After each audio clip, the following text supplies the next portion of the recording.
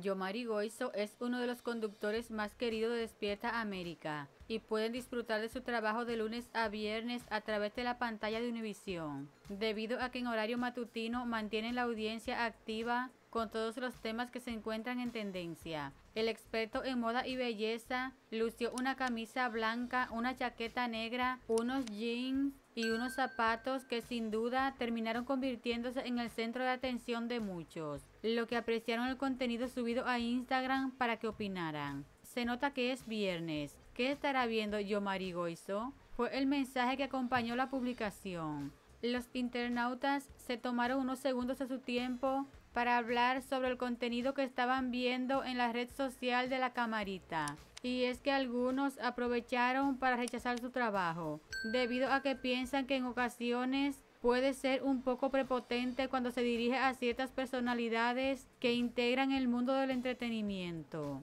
Sin embargo, lo más llamativo terminaron siendo uno de sus zapatos blancos, y es que varios usuarios de la publicación coincidieron en que debería lavarlos, para la impresión de muchos estaban un poco sucios y debido a su tonalidad era más que evidente que no eran completamente de su pigmento original. No sé cómo lo tienen ahí como conductor, por Dios.